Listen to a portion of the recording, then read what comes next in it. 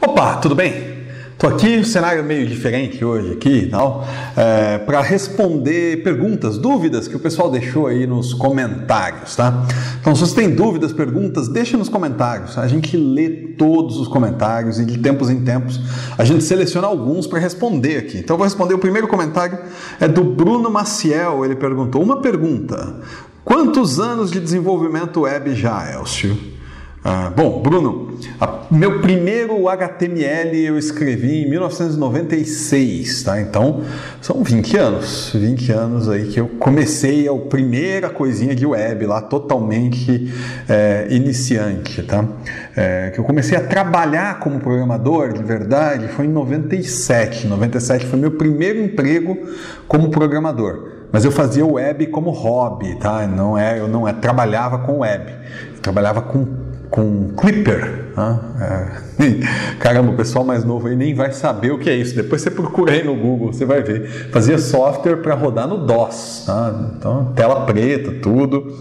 É, foi meu primeiro emprego como programador foi em 97. Mas nessa época eu já fazia web por, por hobby, estudando, aprendendo e tal. Tá? Que eu fiz o meu primeiro site profissionalmente, acho que foi em 98. Então, mas, que eu comecei com web tem 20 anos aí. 22 anos agora, né? 22 anos. Eu, profissionalmente, 20 anos. Uh, Vicente Marçal. É, eu falei naquele vídeo da história da jQuery e ele comentou assim: Eu, particularmente, já me frustrei por estar estudando jQuery. Acho que vou aproveitar a energia e me dedicar ao Vue.js. O que você me diz, Elcio? Bom, você para escolher entre uma coisa ou outra, estuda Vue, com certeza, tá? É, o que eu disse no vídeo é que, cara, é muito legal saber jQuery por conta do legado, por conta da história, porque tem muito a aprender com o projeto ali. Mas eu não disse que jQuery tem que ser a sua primeira escolha de jeito nenhum, tá? Então, é, Vue é um negócio fantástico, é, ou se você gosta de outro modelo de interface reativa, pode ser, por exemplo, React e tal, né? Então, é, se você usa jQuery para validar formulário, para fazer menuzinho, para fazer é, sliderzinho simples, sabe? Bobeira. Cara, aprende bem JavaScript, ok? Vanilla.js resolve seu problema.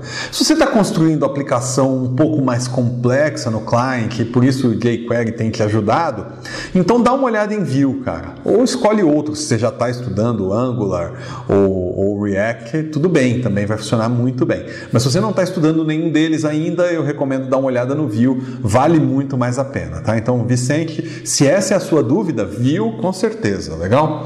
Uh, próxima aqui. Luciano Martins.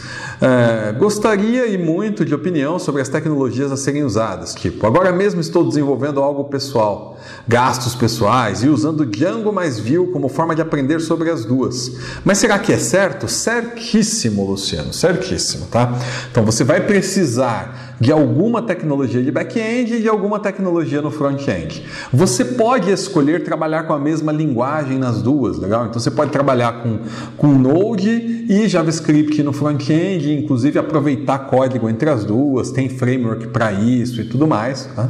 É, mas não é de verdade muito melhor do que você escolher, por exemplo, Django, que é uma excelente tecnologia para back-end, e Vue para front-end. Legal? Vai te ensinar muito e inclusive é legal você poder já trabalhar com duas linguagens aí, poder ir aprendendo e comparando as duas Python e JavaScript, é, vai ser bem instrutivo, tá? Tem gente que diz, não, puxa, é muito melhor você trabalhar com Node, que você aprende uma linguagem só e tal. Ah, cara, não é tão complicado assim. O Python lá e JavaScript aqui, você vai ter que aprender uma hora mesmo. Então, é legal, tá? É uma excelente escolha. Eu recomendaria essa escolha mesmo. É, Django é excelente, Vue é excelente, são duas muito boas escolhas, legal? E se você que está me ouvindo aí está trabalhando com Angular e Web2Py, ou está trabalhando com é, React e Flask, ah, ou está trabalhando com Code Code Igniter, ou tá trabalhando. Cara, eu tô dizendo que a escolha é, do. Cara, esqueci o nome do cara, Luciano. Que a escolha do Luciano é legal, não tô dizendo que ela é a certa. Bom, Code Igniter não, né? Vai para Laravel, que é mais legal agora. Então. Mas eu não tô dizendo que a dele é a certa e as outras estão erradas, entenda bem. Aí ele perguntou se fazer desse jeito funciona para quem está aprendendo, eu tô dizendo que sim, legal? Um, essa pergunta, eu sabia que ia vir essa pergunta, é, eu vou pular ela, vou responder ela no final. Michael Granados, grande Michael, Mike trabalhou aqui na Vise, abraço Mike, é, puxa, um abraço para Alice, para Lisa também, a mulher e a filha deles, pessoal super gente boa. É, parabéns Elcio, série de vídeos muito boa, estamos usando aqui na empresa para iniciar alguns estagiários. Muito bom, muito bom, valeu, valeu mesmo. Agora vamos lá, a pergunta. Rodrigo Vieira perguntou: A Microsoft comprou o GitHub. Gostaria de saber sua opinião sobre essa aquisição da Microsoft. Minha outra pergunta é: com essa aquisição, o que acontece com softwares grandes como WordPress, entre outros? Muito bom, então vamos lá. Vou começar pelo final. O que acontece com softwares grandes como WordPress, entre outros? Nada, nada, absolutamente nada, e é importante é, entender isso, ok? O GitHub não tem relação com o Git, ok? O Git é desenvolvido de maneira open source é, pelo Linus Torvalds, o criador do Linux. Ele é o criador do, do Git, é, mantido por um grupo ali de voluntários, uma comunidade legal. É um projeto open source como qualquer outro.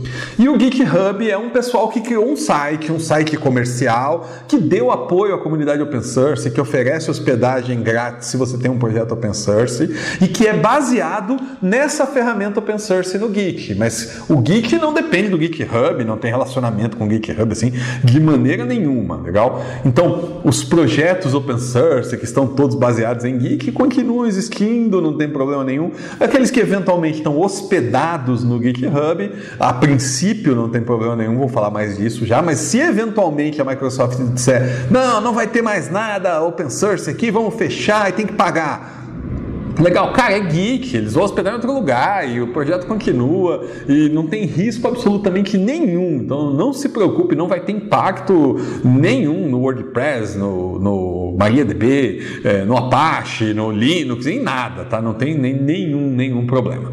É, e aí o Rodrigo me perguntou, pô, o que, que você acha dessa aquisição aí da Microsoft, comprar o GitHub e tal? Legal, bom, vamos lá. Eu sou daqueles caras das antigas, daqueles caras que vão adorar criticar a Microsoft Microsoft porque conhece a história da Microsoft, legal? Mas, cara, não faz o menor sentido a gente ficar perseguindo. É, eu faço mais por diversão, sabe? É, conversa com amigos, assim. Mas de verdade, não faz o menor sentido ficar criticando uma empresa por causa de atitudes de 20 anos atrás. Não, não tem. Okay? A Microsoft tem se mostrado uma empresa que começou com iniciativas de interoperabilidade, colocou o Linux para rodar dentro do, do Windows. Então, o Windows 10 agora tem é, um Linux de verdade ali dentro, você consegue rodar software Linux ali, está fazendo isso muito bem, tem abraçado Linux no Azure, é, tem dado suporte a projetos open source, e naturalmente eles querem sim é, vender o Windows, eles querem sim que você desenvolva em .NET, mas eles têm é, se aberto para essas possibilidades para o resto do mundo. Então eu realmente não gostaria de fazer previsões em relação ao futuro do GitHub. É claro, é uma empresa privada, mas cara, o GitHub já era de alguém.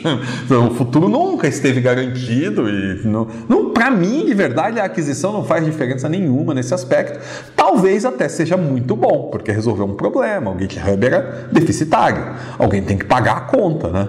Então, você está aí, oh, a Microsoft, não sei o que e tal. Você ia pagar a hospedagem do GitHub? Eles vão pagar. Então, é, talvez seja um caminho para manter o open source aí, né, disponível para a galera e tal, talvez seja um, um, bom caminho, tá? Então, de verdade, assim, não vejo isso como um grave problema, como uma ameaça para o open source, é, de forma alguma, de forma alguma. Vamos ver aí quais vão ser os próximos passos, o que, que a Microsoft vai fazer, mas realmente não estou nem preocupado com esse assunto agora, beleza? Bom, é isso aí. É, tem mais dúvidas aqui, mas tem uma dúvida que eu quero fazer um vídeo sobre ela. Então, o próximo vídeo é uma resposta a uma dúvida do Vicente Marçal. Então não perca aí o próximo vídeo, vou falar de Virtual Env, beleza? Tá curtindo? Clica no joinha assim pra gente saber, legal? Valeu!